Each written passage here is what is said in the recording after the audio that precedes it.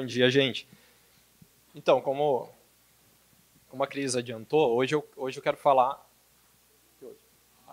Hoje eu quero falar de uma aplicação específica de espalhamento ressonante, que foi uma das coisas que a gente falou semana passada. Que, não sei se vocês lembram da aula da Flávia, ela fez um, um gancho para mim, depois na minha aula de espectroscopia eu falei um pouquinho de espalhamento elástico ressonante. Então agora eu vou, vou, vou quero mostrar para vocês a aplicação disso para um caso especial que são materiais é, magnéticos. Beleza? É, o Ricardo deu uma aula já também de, de outras de, de técnicas de espectroscopia aplicadas é, em magnetismo, acho que ontem, né? Foi a aula do Ricardo. Então, vou, vou partir do princípio que todo mundo sabe o que é XMCD, por exemplo tá bom? Mas então, lembrando um pouquinho de algumas características basiconas de, de difração, de raios X, como a gente está acostumado. E quando eu falo como a gente está acostumado, é, eu quero dizer em, em raios X duros, que a, a grande maioria das, da, dos exemplos que vocês viram nas aulas de, de de espalhamento e difração semana passada, lá do, do Guilherme, a Flávio, o Antônio e o Márcio, normalmente você usa raio-x duro. É, raio-x duro é, tem energia da ordem de kV, então, por exemplo, lá perto de 8, 7, 10 kV, a gente tem, inclusive, tubos de raios-x que a gente usa nos laboratórios de, em difratômetros de bancada. Beleza? É, essas energias, as ondas, as que podem ter essas energias associadas também, se a gente olhar para o lambda, para o comprimento de onda delas, a gente vai ver que os comprimentos de onda são da ordem de poucos angstroms, ou seja, comprimento de onda da radiação é da ordem das, das distâncias interatômicas. Então a gente usa raio-x duro para estudar estruturas cristalinas, distâncias entre átomos por exemplo. E a última característica que eu quero que vocês lembrem é que em raios X com mais alta energia, a penetração, a Natalia acabou de falar que lá no Sirius a linha dela vai, vai poder fazer tomografia de materiais mais espessos, porque quanto maior a energia, maior a penetração dos raios X. Então, nessa faixa de energia que a gente está mais acostumado em difração, a penetração é alguns microns. Então, a gente técnicas de difração de raios X normalmente são sensíveis ao bulk, a parte massiva da amostra, em raios X duros. Beleza? Guarda, então guardem essas informações que vocês já sabem, mas tenham, fiquem com elas na cabeça. Agora, bom, é, o título do meu seminário fala em magnetismo. Eu quero tentar mostrar para vocês que com o espalhamento a gente também consegue é, obter informações de distâncias que têm a ver com propriedades magnéticas de amostras, certo? E isso é muito fácil de fazer, por exemplo, com é, nêutrons, certo? Então tem muita coisa feita com difração e espalhamento de nêutrons em magnetismo. Essa figura aqui representa um nanomagneto, uma amostra magnética, é, um experimento de difração, então onde a gente está incidindo um feixe de nêutrons e vendo um padrão de espalhamento. O que esse feixe de nêutrons aqui tem de especial que está chamando a atenção aqui? Um spin. Né? Então, essa flechinha representa um spin. Então, nêutrons, é, a, gente, a, gente, a gente consegue nêutrons polarizar uh, com com, filtrar os nêutrons em spin e fazer um, um, uma, um experimento de difração dependente do spin. E é daí que a gente consegue tirar a informação de magnetismo muito fácil de um experimento de nêutrons. É, então, com um experimento tipo esse, a gente consegue estudar não só, agora não mais apenas a estrutura atômica. Aqui eu estou representando uma estrutura atômica em uma dimensão, tá? Só para ficar mais, tentar ser um pouco mais didático. Então isso aqui é uma estrutura atômica. A gente tem bolinhas que podem ser átomos com certas distâncias que se repetem. Então é isso que a gente normalmente vê em quando a gente faz um experimento de difração pensando em estudar a estrutura atômica. Agora, em materiais magnéticos, a gente também tem distâncias que se repetem no, na propriedade magnética. Por exemplo, o, numa, em um material ferro que tem ordenamento ferro-magnético, os spins, a gente pode imaginar uma estrutura magnética onde os spins estão arranjados é, paralelamente em distâncias que se repetem, em padrões que se repetem. A gente pode ter também um material antiferromagnético, onde a gente tem uma alternância de spins antiparalelos, por exemplo, e esse padrão se repete. Então, a gente pode estudar esses materiais muito fácil a partir de difração de nêutrons, por exemplo. Claro que no mundo real a estrutura não é 1D, não é tão simples assim. Por exemplo, só para uh, situá-los um pouquinho melhor no tipo de problema, é, em materiais antiferromagnéticos, por exemplo, aquele ordenamento antiparalelo de spins que no final das contas nos dá um momento magnético total nulo, porém tem uma certa ordem, é, pode, numa estrutura cúbica, que é a mais simples de todas, a gente pode ter antiferromagnetismo em três tipos, por exemplo. Se a gente somar, é, integrar todo esse, o, o, momento magnético aqui devido a cada um desses é, oito spins, vai dar zero. Para cada um que está apontando para baixo, eu tenho um apontando para cima. E vejam que esse padrão aqui é diferente desse outro do meio, que é diferente desse terceiro aqui. Certo? Aqui tem duas flechinhas para cima, duas para baixo, lá no final duas para baixo e duas para cima. Aqui a gente tem é, para baixo para cima, para baixo para cima, e aqui é o contrário. Então, só para ilustrar que quando a gente tem materiais antiferromagnéticos, por exemplo, num sistema cuja estrutura atômica é cúbica, a gente pode ter três estruturas de antiferromagnéticos. Com difração normal, como a gente está acostumado, a gente consegue aprender sobre a, a, posição dos átomos, mas a gente não tem informação nenhuma do magnetismo. Para isso, a gente precisa de uma radiação que seja polarizada em spin, o que os nêutrons dão para a gente. Aqui ainda tem um exemplo de um ferromagneto, onde está tudo apontando para o mesmo lado. E será que então, estou falando de difração de nêutrons, porque é mais comum, nêutrons são, têm spin facilmente. E, e com raio-x, será que eu consigo estudar essas estruturas? A resposta é, é, é, é, é sim. Em princípio, a gente pode estu, estudar isso em, em, com espalhamento magnético de raios-x, porque como o Júlio falou lá na, na primeira aula, a onda eletromagnética tem um campo magnético oscilando também. Então é possível, em princípio, mas as seções de choque do espalhamento magnético de raios X são muito baixas, o que torna isso inviável, a menos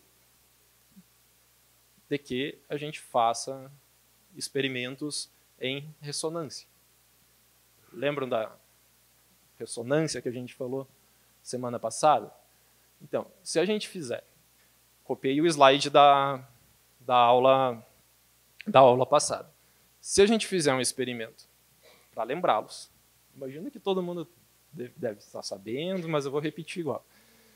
É, vou repetir mesmo assim. Então, imagina que a gente é, tem um espalhamento não ressonante descrito quanticamente daquela forma que a gente discutiu semana passada, ou seja, a gente tem um fóton com uma certa energia e a gente descreve o espalhamento como um elétron transitando de um nível ocupado para um nível virtual, logo depois ele decai e emite um fóton espalhado elasticamente com a mesma energia, portanto, tem uma transferência de momento ali que é o espalhamento. Uh, eu falei para vocês que em quântica a gente poderia descrever esse, esse processo quando ele, quando essa transição, esse nível virtual coincide com um estado desocupado acima da energia de Fermi, a gente pode descrever esse espalhamento da mesma forma que eu descrevi o não ressonante aqui, ou seja, um fóton incide, o elétron é, transita, depois decai e emite um outro fóton com a mesma energia, só que agora o nível virtual é igual a um nível desocupado real. Então, a gente pode descrever isso aqui de outra forma. A gente pode dizer que houve um processo de absorção, e o elétron transitou e foi para um nível permitido acima, depois ele decaiu e teve um processo de fluorescência. Quando a gente descreve esse processo, quando a gente pode descrever esse processo de uma ou, ou outra forma, a natureza quântica probabilística nos fala que então é a probabilidade do, do, da gente ter esse estado final, que tem a ver, que é diretamente proporcional, no final das contas, à seção de choque, ela aumenta bastante, porque a gente tem uma soma da seção de choque do espalhamento elástico com a, a um produto do espalhamento da absorção, da seção de choque de absorção e de fluorescência. Então, a gente tem muito mais probabilidade de observar esse espalhamento e, então, para caracterizar a, amostra, a estrutura magnética de amostras, como a seção de, de choque fora da ressonância é muito baixa, a gente precisa sempre estar em ressonância. E muitas vezes a gente ainda aproveita a, a, o, o dicroísmo circular magnético, que na ressonância nos dá ba bastante informação seletiva sobre o magnetismo da amostra, como o Ricardo falou ontem, também como mecanismo de, de contraste depois no espalhamento certo? Ah, mais uma figurinha repetida é, da semana passada. Falei para vocês que, é, de fato, é, muitas vezes a gente quer olhar não apenas para a estrutura atômica, para a, a onde os como os átomos estão organizados em uma amostra, mas a gente quer olhar outros graus da liberdade, como o grau da liberdade de carga, orbital ou de spin. É, e, e várias técnicas que já foram apresentadas para vocês são complementares para entender esses diferentes graus de liberdade e como que eles estão acoplados. Que, como eu mostrei para vocês lá no esqueminha de estrutura magnética de um material antiferro, vocês perceberam claramente que o antiferromagnetismo está acoplado à estrutura atômica. A estrutura de spin depende da estrutura atômica. Eu mostrei para vocês um caso da estrutura atômica cúbica que nos permitia ter quatro estruturas magnéticas diferentes, estruturas de spin diferentes, três antiferromagnéticas e uma ferromagnética. Então, essas, esses graus de liberdade estão acoplados. A gente precisa usar diferentes técnicas para entender isso. Então, por exemplo, a gente pode usar absorção de raios X com os dicroísmos, linear e magnético, que já foi mostrado para vocês, Higgs, que eu falei um pouquinho semana passada, espalhamento inelástico não ressonante, também falei, ARPS, que o Wendel falou. E hoje eu vou falar de um pedacinho de uma, de uma técnica que é espalhamento ressonante de raios-x, ou difração ressonante de raios-x, em alguns, em alguns casos. Também falei semana passada que quando a gente fala em espalhamento ressonante, não é espectroscopia nem difração, é uma mistura das coisas, é uma, uma lambança. No final das contas, como o Gustavo falou bastante também, é tudo a mesma coisa. A gente joga a radiação, tem uma interação radiação-matéria, a gente analisa, vê o produto depois. Mas nesse caso, quando a gente fala em espalhamento ressonante de raios-x, a gente usa essa técnica para estudar então a modulação espacial de, de, de carga orbital ou de spin. E como a ressonância aumenta a seção de choque de espalhamento magnético cerca de 8 ordens de magnitude, a gente consegue caracterizar estruturas magnéticas com raios X desde que a gente tenha ressonância. Esse exemplo, bom, isso aqui é só para lembrar outro exemplo que a Flávia deu semana passada, lá de modulação de, de carga e orbital em manganitas, beleza? Também usando ressonância. Mas hoje eu quero falar de, de materiais magnéticos. Então, é, pra, a, a, beleza. Tentei convencê-los que espalhamento de raios X, quando a gente usa ressonância, é legal e que também é legal uh, fazer experimentos em, com raios X para tentar caracterizar estrutura magnética. que eu quero convencê-los agora é que é legal usar raios-x moles para fazer isso. Por isso que eu, meu primeiro slide eu falei, eu, eu disse, pedi para vocês guardarem três é, características de, de, de, de espalhamento com raios-x duros, né? A energia alta, o comprimento de onda baixo, que tem a ver com distâncias interatômicas, e a profundidade de penetração de alguns microns. Agora, em raio-x mole, o que, que acontece? Por que, que raio-x mole é legal? E o Júlio fez a maior propaganda lá no, no primeiro dia da escola.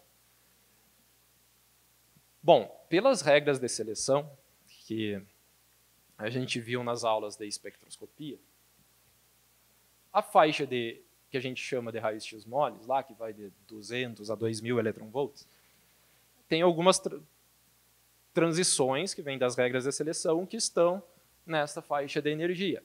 Por exemplo, bordas K, que eu não escrevi aqui, de, de materiais é, de materiais leves, como carbono. Eu mostrei, eu mesmo mostrei um exemplo de, de chanes na borda K do carbono, mas também transições 2p 3D, ou seja, bordas L de metais de transição 3D, da primeira linha dos metais de transição, e bordas M ou N de alguns terras raras.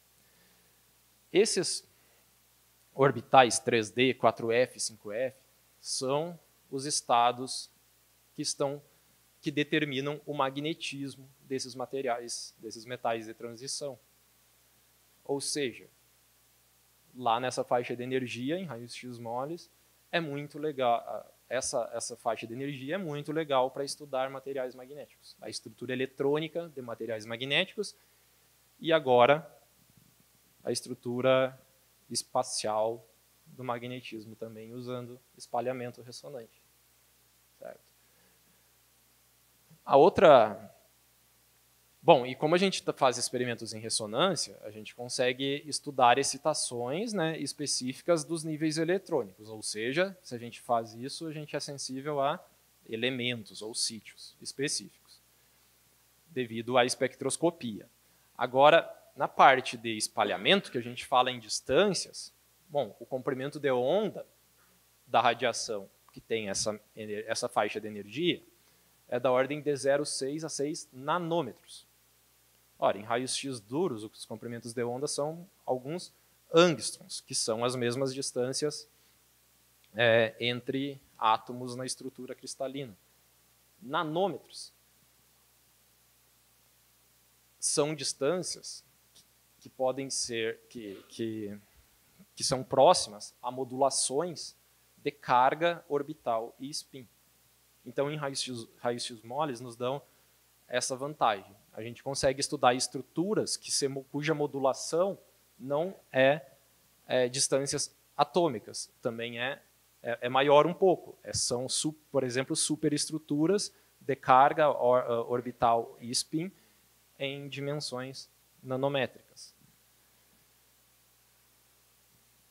Outra característica, guardem isso. Outra, a outra característica de raios-x mole, que tem a ver com a terceira que eu falei lá no início, é que, bom, temos uma esfera de Evold limitada, mas, uh, na verdade, a, a, que eu falei lá no início tem a ver com essa daqui. A penetração do fóton é pequena, porque a gente está em muito baixa energia, então a gente não, não, não acessa muitos microns. A penetração é bem mais curta. A gente acessa uh, bem, bem, a gente penetra bem menos. Mas isso também pode ser interessante para estudar alguns sistemas, como filmes finos, nanoestruturas, superfícies e interfaces. Então, esse contra do raio-x mole para algumas coisas é vantagem para certos tipos de materiais também. E, bom, uh, então, o que, que a gente pode fazer com isso? Em espalhamento, ressonante é, em raio-x moles. Primeira coisa, eu não sei, eu não sei se o Márcio chegou a falar para vocês de refletividade de raios-x em raios-x duros, que é uma técnica que nos uh, de, que mede o espalhamento num difratômetro em Qs bem relativamente baixos, em ângulos baixos. E numa condição especular. A gente mede um, um padrão de interferência como esse. Isso é muito legal para estudar filmes finos com estrutura multicamadas, por exemplo. Tipo, com finas, finas camadas de materiais diferentes que se repetem. Então tem uma modulação da densidade eletrônica que se repete. E a técnica de refletividade de raio-x, raio-x duro, é, se a gente fita essa, essa curva de refletividade, a gente aprende sobre as espessuras das camadas, as densidades, as rugosidades, a interdifusão nesse tipo de material. Bom, mas isso não tem nada a ver com o título do meu seminário. Agora, de forma análoga, quando a gente faz um experimento é, de, de refletividade em ressonância com contraste de dicroísmo circular magnético, a gente consegue ter informações análogas a essas, mas sobre o perfil do momento magnético, não, da, não mais da estrutura é, da densidade, do perfil da densidade eletrônica, mas o perfil do momento magnético. Então, do perfil é, da, do, estrutural quanto ao perfil magnético do elemento que a gente está sob consideração, porque a gente está em ressonância. Então, a gente está sendo, estamos sensíveis muito mais a um elemento do que a todos os outros. É, então, quando o, o Ricardo deve, falou para vocês ontem que para medir um espectro de XMCD, a gente mede, a gente usa uma polarização circular e depois a outra polarização circular, adquire espectros de absorção e faz a diferença. Isso é proporcional a isso nos dá informação do momento de spin e momento é, magnético total. É, se a gente faz a medida de espalhamento também com duas polarizações diferentes, na condição onde a gente tem dicroísmo circular magnético, ou seja, na ressonância, a diferença entre essas duas curvas vai nos permitir, se a gente conseguir fitar ela, criar um modelo que, que explique ela, vai nos permitir entender o perfil, a modulação é, do espacial do magnetismo de forma análoga à refletividade. Beleza, mas não, não, não é só refletividade que existe. Por exemplo, se a gente olhar para o espalhamento difuso. E agora, eu quero, uh, uh, pausa para eu explicar para vocês o que é isso aqui. É, não sei se já apareceu, mas isso aqui é uma imagem, uma microscopia com, de um material é, ferromagnético. Então vejam que a gente tem listras pretas e listras claras.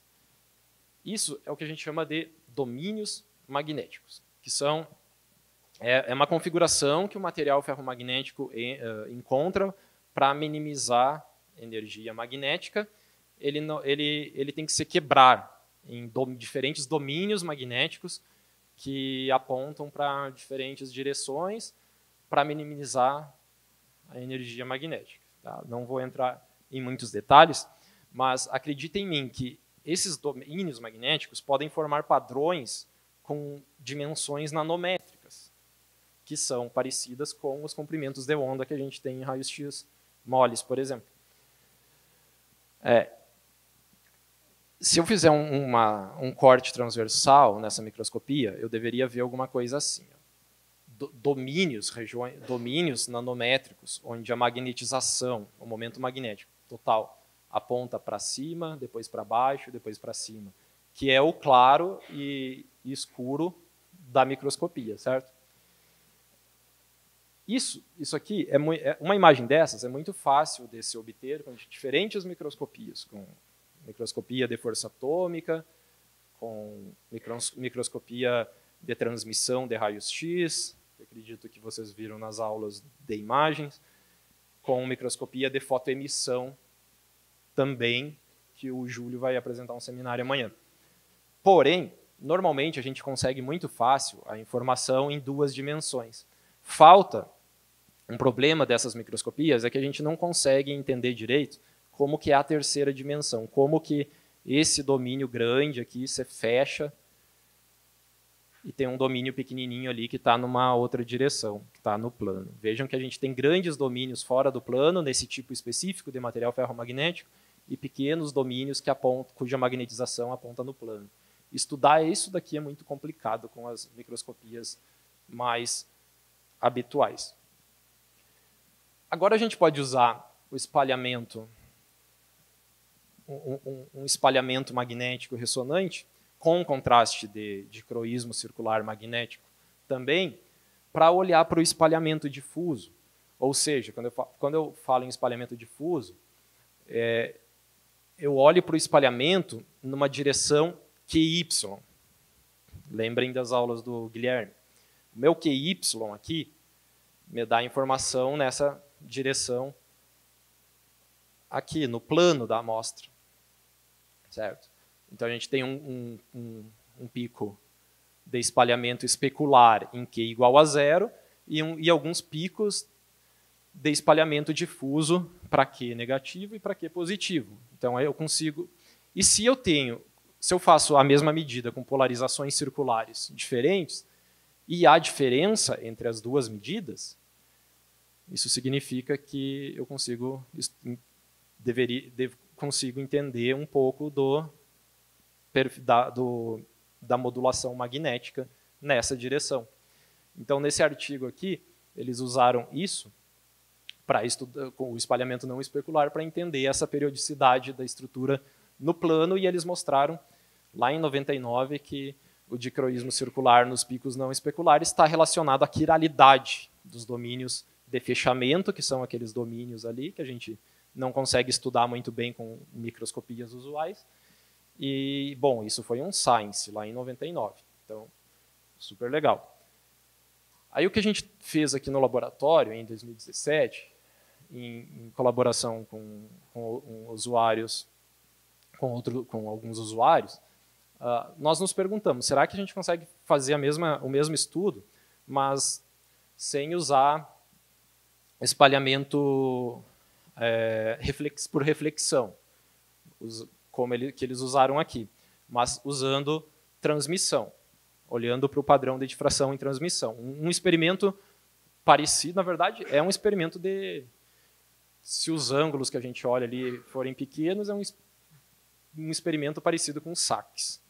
Tá? Então a gente si, a gente tem uma, a gente preparou diferentes amostras magnéticas com diferentes que formam diferentes estruturas de domínios magnéticos, ora domínios que a gente chama de stripes, ora domínios mais desordenados, que a gente chama de tipo minhoca, worm-like. Bom, a gente incidiu o feixe e olhamos para o padrão de difração em ressonância, blá, blá, blá, para tentar tirar a informação é, magnética. Medimos os padrões de difração, rodando, informação importante, rodando o ângulo também, para tentar ter a informação é, da, da, direção que está no plano. E, e depois, para explicar, para tentar uh, descrever esses padrões, a gente simulou. Então, a gente simula um modelo de estrutura magnética e modelamos a interação da radiação com a matéria nessas condições para tentar reproduzir o padrão de difração. Nesse caso, o, o, modelo da estrutura magnética leva em conta informações de tamanho e forma daqueles domínios pequenininhos que são os difíceis de, de se resolver. A interação radiação-matéria é dada por, essa, por esse fator de, de espalhamento, que tem termos de carga, de dicroísmo circular e de dicroísmo linear. Dicroísmo linear não interessa muito aqui, a gente nos sobra um termo que tem a ver com a, com a modulação de carga e outro termo que tem a ver com a modelação magnética, que é o dicroísmo circular. Fazendo experimentos iguais na borda com o dicroísmo circular, onde o dicroísmo circular magnético é grande, e fora da borda de absorção, ou seja, um pouquinho fora da ressonância, onde a gente não tem mais o, XMCD muito grande, a gente consegue separar a contribuição de carga e, e magnética. E a gente fez isso, certo? E aí eu falei para vocês que, que a gente rodou bastante a amostra. A gente percebeu, a gente descobriu que em certos ângulos da incidência, a gente conseguia informações interessantes. E esses ângulos coincidiam com o, o dependiam do tamanho da, da, da largura desses domínios da, desses domínios como vistos na microscopia, certo? A gente viu que, por exemplo, para um certo ângulo, o feixe de raio-x vai, vai até ele atra atravessar a amostra. Lembre que o experimento é de transmissão. Ele vai percorrer o caminho óptico vai percorrer quatro domínios. Para outra condição, dois domínios. Para outra condição, seis, oito. E nessas condições, como a gente tem um número igual de domínios para cima e para baixo, a gente conseguiu meio que cancelar a, a, a, o espalhamento devido a esses domínios grandes que estão para fora do plano, e aí a gente conseguiu aprender mais sobre os domínios pequenininhos que estão no plano. Então, aqui a gente, como eu falei para vocês, a gente tem padrões de espalhamento é, experimentais e a gente tenta reproduzir.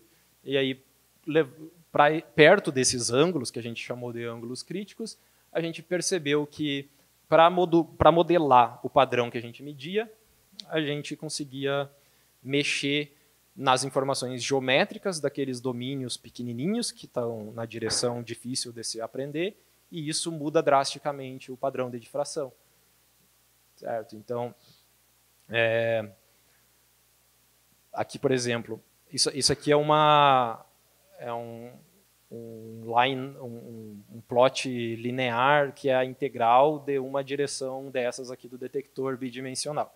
Então a gente vê que um pi, a, a alteração que a gente observou experimentalmente em um certo, na região de um certo pico de difração, a gente conseguiu simular brincando com a geometria e com as informações dos domínios pequenininhos que estão no plano. Então a gente e isso funcionou também para o caso da amostra mais desordenada, aquela amostra worm-like, que não, não tem as tiras, mas tem os domínios mais bagunçados.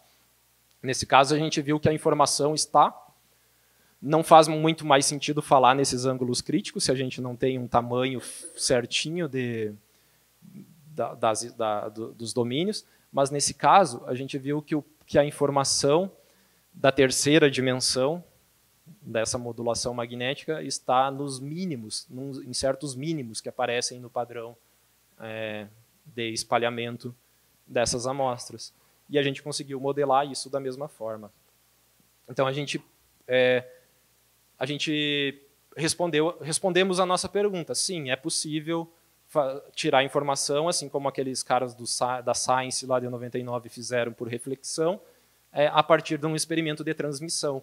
Por que, que isso é legal? Porque agora a gente pode pensar aí, bom, eu estou falando de espectroscopia, de espalhamento, agora a gente pode pensar em linkar, em, em usar tudo isso para fazer imagem também. Quando a gente tiver um feixe coerente, em um experimento tipo esse, com essa com esse princípio básico, talvez a gente consiga é, recuperar fase, fazer um experimento de difração coerente nessas condições para ter para sair daqui e, e, e, e, chegar numa imagem real daqueles domínios lá. Esse é o próximo passo desse, desse projeto. É, mais recentemente, teve um artigo ano passado também, onde eles onde mostraram, isso aqui eu, eu vou só citar, que a partir do, do padrão de difração, quando a gente tem dicroísmo circular, simplesmente a posição de mínimos nesse padrão de difração nos permite também aprender sobre a quiralidade do, do, dos domínios magnéticos. Certo? Então, agora, nos próximos passos desse projeto, a gente está embutindo essa informação aqui também para tentar descrever o espalhamento ressonante. E com isso eu termino. Acho que passei dois minutos.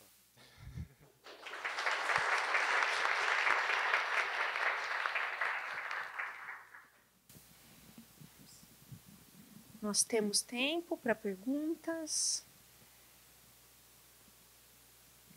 curiosidades. Ali.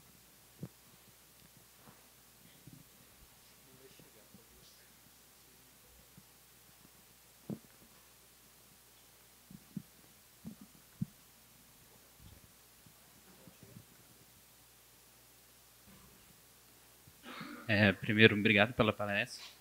É, eu gostaria de saber mais sobre o Sirius, de como vai ser lá as limitações da linha e o que a amostra precisa ter, tamanhos, dimensões, essas coisas assim. Obrigado. É, Para esse tipo de experimento de, de espalhamento, é, ainda sem pensar em coerência e, e, e, e sem, sem falar em imagem, só esse experimento que eu mostrei, é, a gente não precisa dos cílios. Tanto que a gente conseguiu fazer aqui na linha PGM e aprender bastante sobre é, esse tipo de amostra usando o feixe não, não muito coerente que a gente tem hoje aqui. Mas isso que a gente fez foi um experimento de saques, de certa forma. É, se a gente quiser uh, recuperar a fase e fazer uma técnica de imagem, a gente precisa de coerência. Isso a gente vai ter lá no Sirius. É, tá, tá, tá, previsto, mas não para a primeira fase, o desenvolvimento de um, de uma, um, o aprimoramento dessa instrumental da mesma estação experimental que a gente usou aqui, para permitir um, um, controle melhor que é necessário para fazer imagens onde a gente tem informação, onde a gente precisa de um feixe mais focalizado numa região menor, então a gente precisa de mais estabilidade e todas essas dificuldades técnicas que eu imagino que o Hélio deve ter mencionado, a Nathalie um pouco, o Carlos Sato. Então a gente precisa ainda desenvolver uma estação experimental para usar a coerência para esse tipo de experimento lá no Sirius. Mas tá, está nos planos. Uma outra, uma outra coisa que eu não mencionei, que como o raio-x mole tem uma penetração não muito grande, essas amostras, para fazer transmissão em raio-x mole, elas precisam ser crescidas. Primeiro, não podem ser muito grossas. Então, não sei se vocês perceberam nos, nas figuras, mas esses filmes, fi, essas amostras são sempre filmes finos, com espessuras de 100 nanômetros, dessa ordem no máximo. E elas precisam ser crescidas em cima de substratos que transmitam o raio-x mole. E não é trivial. Então, normalmente você usa membranas de nitreto de silício como substrato e super finas, 50 nanômetros de uma membraninha de nitreto de silício. É um pouco análogo, na verdade é, é o mesmo problema de microscopia eletrônica de transmissão, onde a gente precisa ter uma amostra super fina também, porque elétrons não transmitem, não penetram muito. Então, é o mesmo tipo de problema.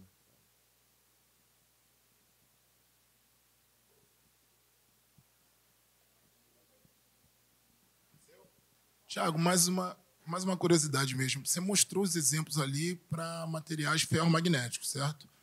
E aí você faz o uso do dicroísmo magnético circular para poder tirar essas informações sobre as paredes de domínios. Como é que fica o caso dos materiais antiferros? Você consegue com essa técnica também ter informações? A gente consegue, a gente consegue ter informação se tem uma modulação de domínios antiferros, né? Essa é isso, né? Essa é dúvida. Pois é, porque tem materiais a antiferros gente... que tem essa modulação, é, mas então, aí se essa como é que fica o caso do dicroísmo magnético circular essa... que o antiferro não funciona? Se essa modulação espacial de domínios antiferromagnéticos tenham, tenha uma certa anisotropia que permita com que a absorção dependa é, da direção linear do campo elétrico, a gente pode usar dicroísmo linear como mecanismo de contraste. Então, é, é, totalmente análogo, mas não é mais XMCD o mecanismo. É XMLD, dicroísmo linear. Mas, em princípio, é totalmente análogo. Né? Obrigado. É, nesse caso, a amostra já tem que ter um magnetismo intrínseco, uma magnetização, ou você pode aplicar um campo externo também durante a medida, controle de temperatura é, também? Essa pergunta tem mais a ver com o magnetismo né, das amostras. Eu, não, eu não, não entrei em tanto detalhe, mas esse tipo de amostra aqui, que são multicamadas com, de materiais magnéticos, é, é, é, eles têm uma característica que é a anisotropia perpendicular magnética. Nesse caso específico aqui. Então, a gente aplica um campo magnético, quando a gente desliga, a gente, quando a gente aplica um campo magnético só, forte o suficiente, a gente alinha todos os momentos para uma direção. Mas isso não nos daria nenhuma modulação magnética. Então a gente não veria contraste magnético nenhum, porque tá, é tudo um domíniozão. É, quando a gente desliga o campo, tira o campo, é, amostras com essas características tendem a formar esse padrão de estrutura magnética.